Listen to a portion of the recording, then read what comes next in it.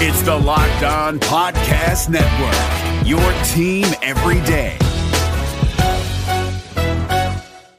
Joe DiBiase of the Locked On Sabres podcast. Butcher Box has all you need for a tasty, stress free holiday season with high quality protein delivered to your door. Sometimes the best gifts are the ones you give yourself, and Butcher Box is here to help you treat yourself to more delicious, wholesome meals. Sign up today at butcherbox.com slash NHL and use the code NHL to get free chicken wings for a year. That's three pounds of free range organic chicken wings free in every order for a year when you sign up at butcherbox.com slash NHL and use the code NHL. Bodies are dropping, and on the Saturday special of the Locked On Fantasy Hockey Podcast, we're taking a look at all of the injury news that you need to know about that's impacting your fantasy hockey squad.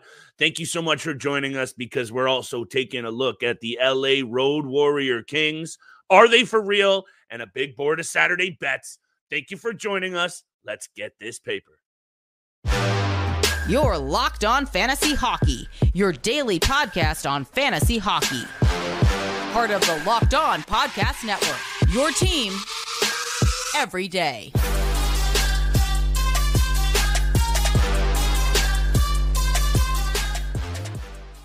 Yet another Saturday special of your source for fantasy hockey news is about to pop off the Locked On Fantasy Hockey Podcast. Thank you so much for joining us and for making us your first listen every single day. We see you and appreciate you nonstop. We're doing it for y'all, but today's episode is brought to you by FanDuel. Make every moment more. Right now, new customers get $150 in bonus bets with any winning $5 moneyline bet. That's 150 bucks if your team wins. FanDuel.com slash locked on to get started. Here we go again, Steele. The injury bug biting heavy. The Atlantic Division just getting decimated over the last couple of nights. We got to talk about it. Joseph Woll going down after what was probably on online to be one of his best games of his yeah. young career. Let's talk about that. Of course, we're going to also talk about Thomas Chabot, Charlie McAvoy very quickly. This Ottawa Senators team, though, Steele, I know the games played is very off but this team seems to be off as well. DJ Smith, we'll talk about it all. And of course, these LA Kings Steele record setting win streak on the road. I believe it's 11 straight games away from home with victories. Got to talk about it. Got to talk about these silver buckets they've been rocking as well, Steele. Big time bets on Saturday's board. Right over to you, though, because there is a lot to talk about. So let's try and keep it tight. Man's got a big Friday night, big Saturday on the way here. Let's get into it, though wherever you want to start. But if you're okay with it, let's start with Joseph Woll. Yeah. Because watching that game last night, he was sensational. He was had a few five, 10 bell saves, and then just this injury, and it doesn't look good. We're not going to speculate on the time, but my goodness, it doesn't look good.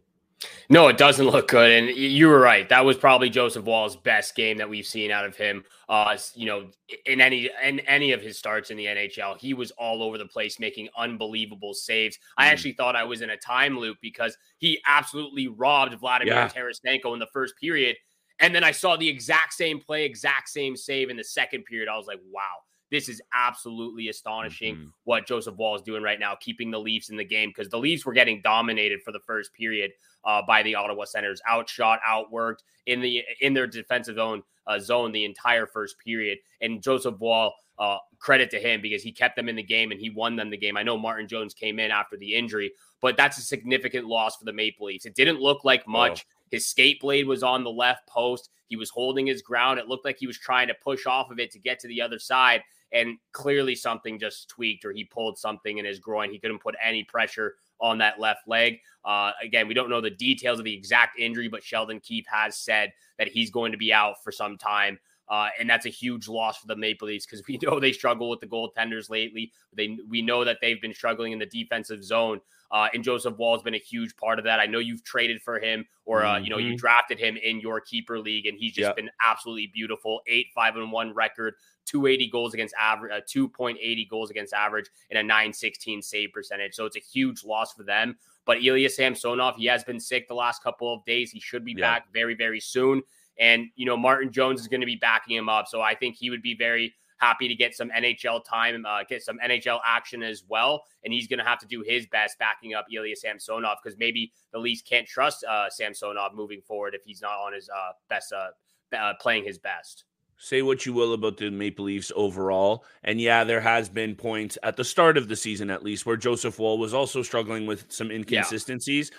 But my goodness, is this not just a heart wrenching, gutless time for a goaltender in his yeah. position of his career? And this isn't career ending or anything like no. that but just right in the mix of him really starting to develop his game, feel confident in the crease, controlling rebounds a lot better. And honestly, Steele, he doesn't get rattled. That's what I was most impressed about Joseph Woll's performance over the start of this season is last year we saw a young kid come in and seize the reins. Sometimes they can almost not even think and realize how much the stage is going to impact them and they play out of their head and then they come back the following season and they can't get it done. Joseph Wall seems to be a very steadying presence. And on a Toronto Maple Leafs team that where the defense isn't exactly that, he has been a savior. I've said it before and I'll say it again. He's the goaltender of the right now and of the future. And this is really, really bad timing for himself on the on the on the season path. And my goodness, is it going to be tough for this Toronto Maple Leafs team to bounce back if Ilya Samsonov can't start making some saves because to start the year, he has not been able to do so. And I'll say this also. Martin Jones is not a guy that you want to have to rely on, Steele, but we saw last year with the Kraken, he can get wins. And yeah, he's okay yep. for that third stringer. I'm more so looking at this from a fantasy perspective because if Samsonov struggles, Sheldon Keefe is not going to hesitate to go to the veteran in Jones. That's why they brought him in. And then you're going to have to look at Marty Jones on a week to week at least game to game basis because the Toronto Maple Leafs are still going to be getting wins in that division. Yes, they are. And I completely agree with that take. Martin Jones might be one of those guys you have to take a look at uh, off the waiver wire. You know, that's even something that uh, we've we've done, or a lot of people out there have looked at when we're talking about the Seattle Kraken with Joey Daccord, who came mm. out of mm. nowhere, has been playing great for them. So Martin Jones is a, is a is a decent backup. He's a third stringer. He struggled over the last couple of years. Don't forget they went all the way to the Stanley Cup Finals when he was with the San Jose Sharks when he was playing at his best. I know that was what five, Ooh, six years ago now. A while ago, so, yeah. he's he's got to be excited to get back into NHL action. So I'm looking forward to see what Samsonov can bring, and hopefully, yeah. if he doesn't bring it, Martin Jones can until Joseph Woll comes back fully healthy. But someone else that's injured, we got two more injuries to talk about in the Atlantic yeah. Division. Thomas Chabot. Uh, this Ottawa Senators team cannot catch a break mm-hmm. right now. They're they're losing defensemen left, right, and center. It, it, doesn't matter what they do. Like it's absolutely astonishing how many injuries they get on the blue line over the last couple of years. He's yeah. only played nine games this season. Decent stats though. Four, uh, only four assists, four points, but he's got 20 blocks, 26 shots on net. Mm-hmm. Throws the throws the body not as much as you would like, but that's not as that's not a part of his game. Not but this really. is a huge loss for the Senators, and this is why they continue to be at the bottom of the league. When you actually yeah. look at it, they're actually uh, plus four in goal differential. They're scoring more than they're letting goals against. Uh, so that's that's a great stat to look out for the Ottawa Senators. You know that their top studs are providing Brady Tkachuk, Tim Stützle, Claude Giroux's been great for them. Vladimir Tarasenko's been a little bit better, but they're not they're not winning games and they're struggling to close out these games or even to start off hot uh, mm. in the first period. So for me, it, it's kind of um, you know, obviously as a Toronto Maple Leafs fan, I despise mm-hmm. the Ottawa Senators, but yeah. I did have them being a lot better this year, and oh, especially oh, yeah. for some of those additions. You know, Korpisalo I thought would be a little a lot better than what we've seen. Mm-hmm. Um, it just hasn't been the case for Ottawa, and, and, that's why they continue to be at the bottom of the league. Also, they've played the least amount of games in the NHL at 21 games, uh, which is kind of weird to look at, but it's just how it's gone for the Ottawa Senators the last couple of years. They continue to lose defensemen. It's one of the ways it's been going for Thomas Chabot over the last yes. couple of years as well, who had a busted hand and he had a conky last year. He was out with a concussion for a little while.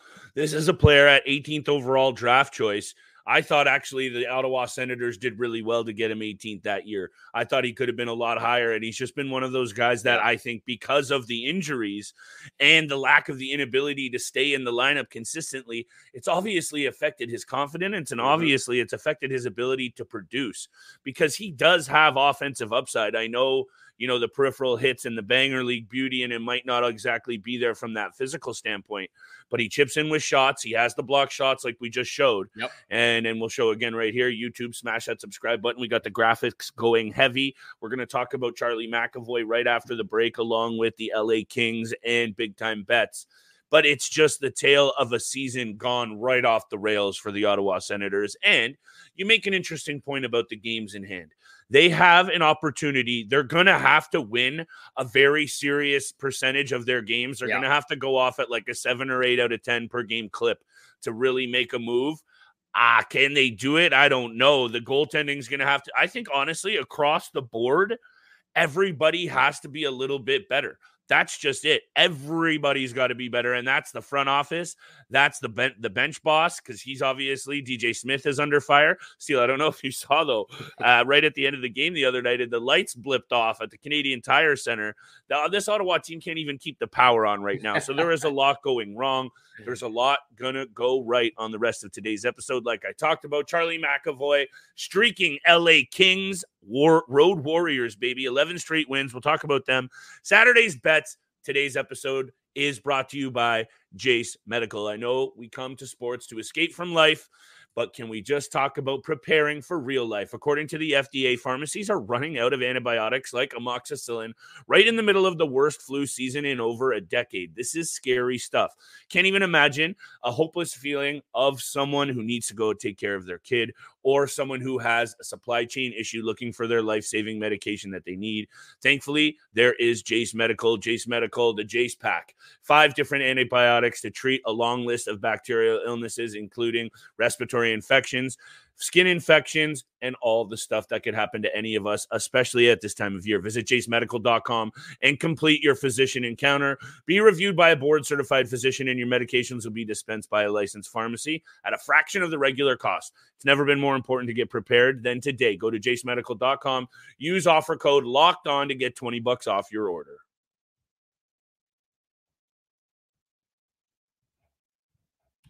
And thank you so much for making the Locked On Fantasy Hockey Podcast your first listen every single day. The big news continues on the Locked On Podcast Network. They've launched the first ever national sports 24 7 streaming channel on YouTube. Locked On Sports Today is here for you 24 7, covering the top sports stories of the day with local experts of Locked On, plus the national shows covering every single league. You don't want to miss out on it. So go to Locked On Sports Today on YouTube and subscribe to the first ever national sports 24 7 streaming channel. And thank you so much for tuning into the Locked On Fantasy Hockey Podcast, making it your mm. first listen every day. Hit the subscribe button, leave a follow, and a five star review. We appreciate all that love and support you show us. Uh, someone else who might need some support from the Atlantic Division, Charlie McAvoy, got mm. absolutely rocked in yeah. that game against the Buffalo Sabres and the loss against the Buffalo Sabres, three to one. Uh, and he left the game not to return. After watching it, you know, it, it wasn't vicious. Uh, it, it, didn't look as serious as it was, you know, at full speed. But then clearly you can see that, again, it wasn't vicious, but I, I think it was JJ Peterka. He he sl- slightly elevated Peterka. his elbow. Again, wasn't vicious, but Charlie mm. McAvoy was already kind of bent down a little bit, ran skated right into his elbow, but he left the game not to return. So we're gonna have mm. to keep an eye on uh, the uh, concussion protocol that he went through as well. It's just also it's kind of like the way he fell to the ice. It looked yeah, a bit scary. Too. And when guys of his caliber, look, Steele, and I probably need to give this player more credit than I've been giving him. He's finished in the top 18 in Norris voting four years in a row, including fifth and fourth, only two and three seasons removed. This season as well, having another solid one. Three goals, 14 assists, 42 shots on net, 33 penalty minutes, also chipping in with the peripherals, 48 block shots, 27 hits. As much as he is that kind of greasy player Steele that you really want to cheer against, he's the kind of guy that I guarantee you he's in your team's colors excuse me, you're probably rocking with it. So I think after that hit, we're not going to speculate on if he's out. Just keep your eye on it because if you own Charlie McAvoy and it is something to do with a concussion, which is what the early speculation is, you're going to have to deal with it. But that's why you'll be tapped into Monday's waiver wire. Let's talk about these LA Kings deal because I think you and I have both talked a lot about them, I would say, for now, literally since you and I have been starting to do this, yeah. which is coming up on two years now, pal. By the way, shout out, almost a little uh, anniversary party. I won't cry yet. But this has been a squad on the rise for us, balanced up front, good blue line. Yeah, they even move out a guy like Sean Durzi, and they seemingly get better this year. They go out and get Cam Talbot, which was a really bold move. Cam Talbot is on a heater. I'm not ready to just exactly write all the way home about Cam Talbot, but right now, Steele, things are clicking and things are working for this LA team, including yeah. an 11 game win streak. And they just really are, for me, one of those teams that is just really fun to watch. They've crept up into second in the Pacific Division. They have a plus 36 goal differential Steele, which at quick glance is the best in the entire NHL. So maybe we need to start paying attention to this team who actually also over the last couple of years has been an absolute wagon in terms of offensive output, being right there at the top of the league in terms of goal scoring, rolling three really good lines. Yeah. They have yet to lose a road game 11 0 and 0. And I say yet because I'm alluding to my big time bet. Oh, we'll very, very soon. But you're absolutely right. This team is undeniably giving Vegas uh, probably the toughest mm. shot to mm. go, you know, go back to back in that Western Conference. They have been unbelievable, and I am going to gas up Cam Talbot because I've talked about okay. him yes, very highly the last two seasons. Does not get enough credit uh, that I think he deserves. He deserves so much more uh, credit from everybody out there. Stellar goaltending, 12 4 and 1 on the season, 933 save percentage, and a 1.84 goals against average. That puts him top three amongst goaltending this season. You're getting phenomenal production from your veterans and Anze Kopitar and Drew Doughty, who just seem like they've yeah. completely revitalized their game, especially Drew Doughty on the back end. Unreal. Adrian Kempe, your boy, and Kevin Fiala, your boy, are really undervalued for what they bring. And then look at these two guys, these two young studs. Maybe not young for Trevor Moore, but Trevor Moore and Quinton Byfield have been putting on a show, and it's awesome mm. to watch for them. However, with all that being said, and how Ooh. and how great this LA Kings team is, I find two problems with them moving forward. Hit Number me. one, Pierre Luc Dubois. Pierre mm. Luc Dubois has been a problem for them because they're paying him eight and a half million dollars a year. And right now, he has 11 points, 43 shots, six blocks, and 13 hits. It's not good enough. He's playing the second lowest average time on ice in his career at 16 minutes and 18 seconds this year. And he's only on pace for 39 points, which would be a career low. This player, when you have a player of this caliber and this talent, yeah. and he has more penalty minutes than he does points, that's a problem for me. And again, sure. the, the LA Kings have been so good, even with him on the third line. Yeah, yeah. And, again, they, they continue to be great. But that's going to become a problem come playoff time or the end of the regular season if he's still not contributing and they're going and they're in the playoffs and we know it's a different atmosphere and he's taking more penalties and, and you know putting them on a disadvantage. That's number one for me. Pierre Luc Dubois has to be a lot better. Mm. Number two, at the end of this regular season, it's going to be a decade since the LA Kings won their last Stanley Cup. And since they've won their last Stanley Cup, they've either missed the playoffs or they've been beaten in the first round. We mm. know this team was capable enough of making a deep playoff run last year. they have gotten better this season, and we know they can make another deep playoff run or make a deep playoff run uh, th- at the end of this season into the playoffs. However, they've struggled to get out of the first round every time in the last 10 years that they've made the playoffs. And we know that's going to be something difficult because there's so many tough teams uh, top tier teams in the Western Conference Vegas Golden Knights, Colorado Avalanche, Dallas Stars, Winnipeg Jets. And I understand, you know, if they finish second or first, that's going to mm. give them a better advantage, home ice advantage as well. Uh, even the Edmonton Oilers, if they go up against the Edmonton Oilers, they lost oh to them the last two seasons. Oh boy.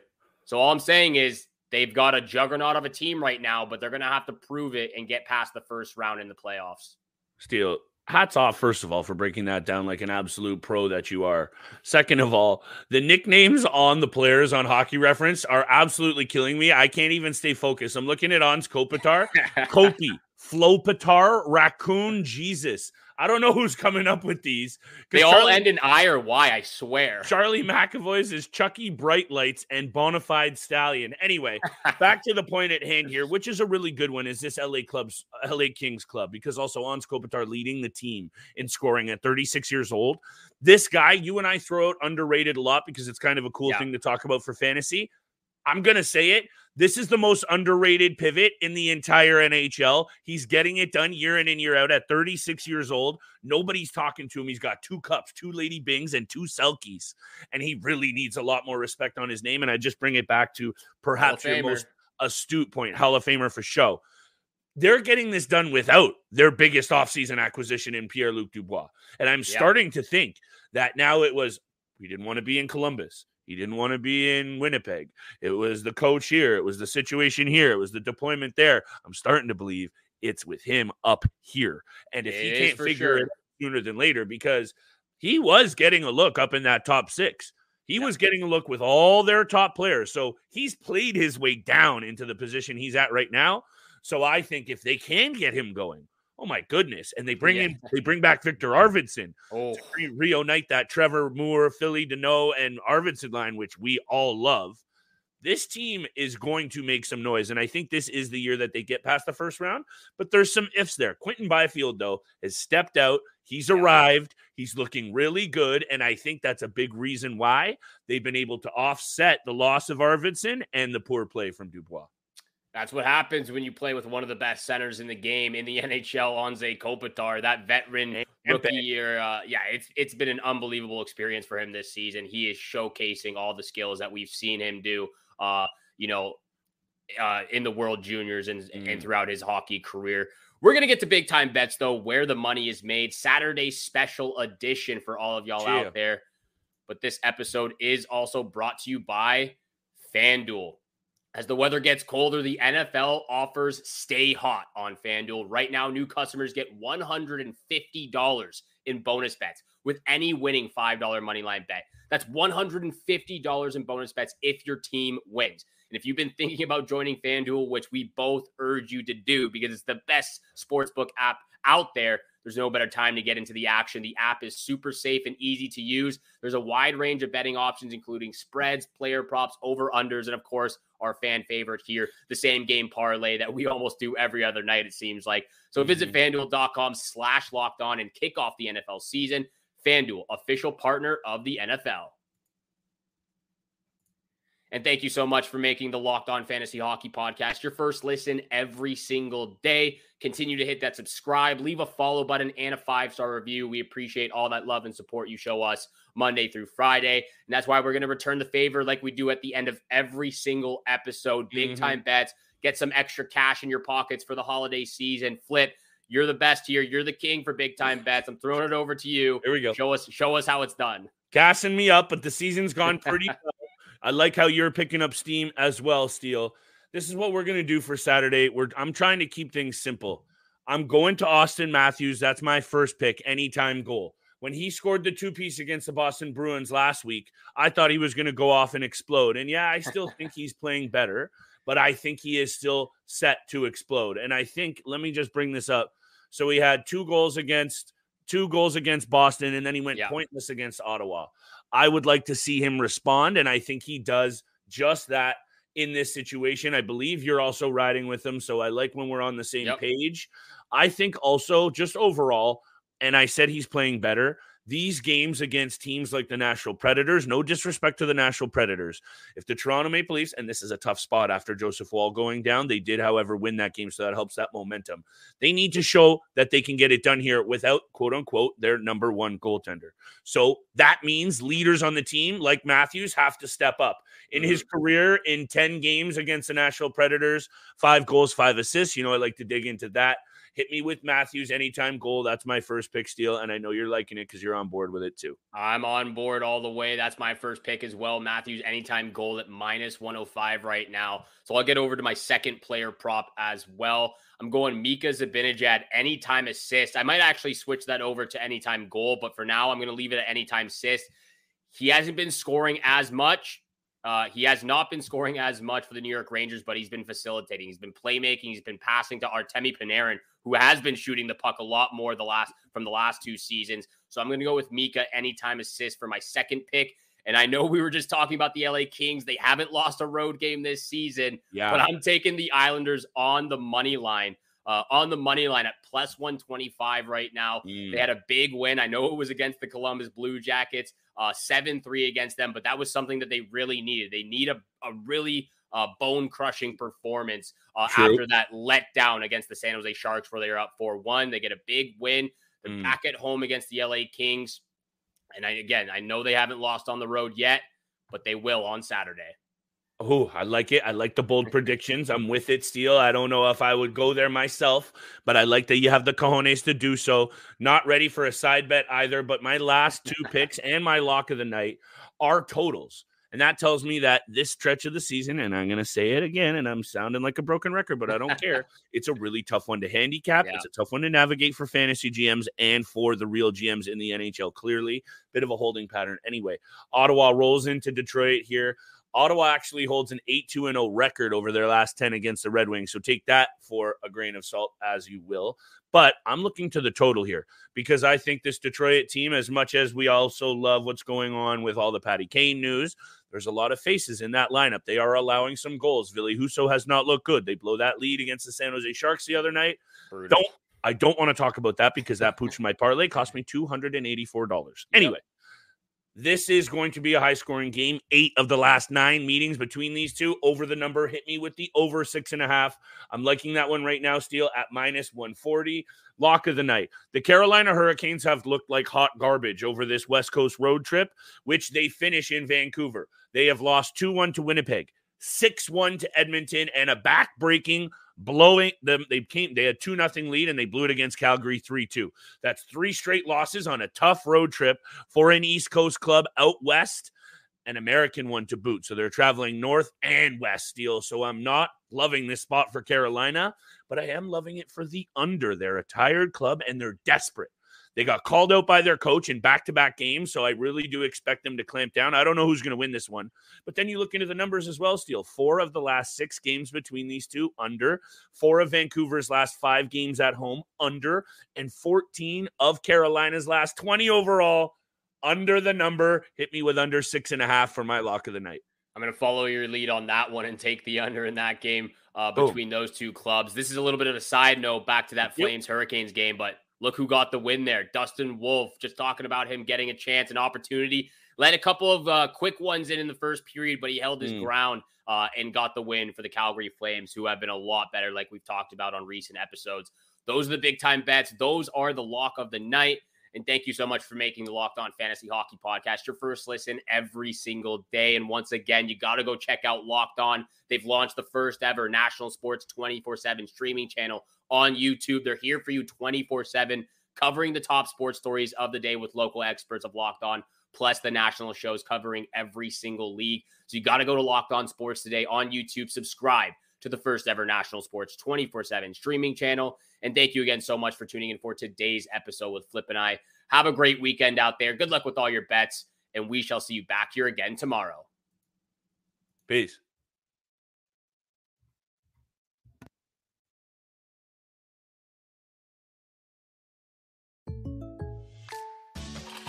Selling smoothies is what I do. But for small business insurance, I chose my State Farm agent. He's a small business owner too, so he knew how to help me personalize my policies. Like a good neighbor, State Farm is there. Talk to an agent today. The Locked On NHL Podcast. Can't get enough of the NHL? Locked On NHL is your answer. Stay up to date on the biggest stories, the best rivalries, and the top stars around the league. Every win, every team, every day. Listen to Locked On NHL. Available on YouTube or wherever you get podcasts. Part of the Locked On Podcast Network. Your team every day. The Monday edition of Locked On NHL is a must listen. Every Monday on Locked On NHL, host Gil Martin takes you to the three biggest NHL stories from the weekend's games with the local experts of the Locked On Podcast Network. No national fluff you get the real story from the locked on experts who are with the team every day. Put it on your calendar every Monday on Locked On NHL. Locked On Podcast Network. Your team every day.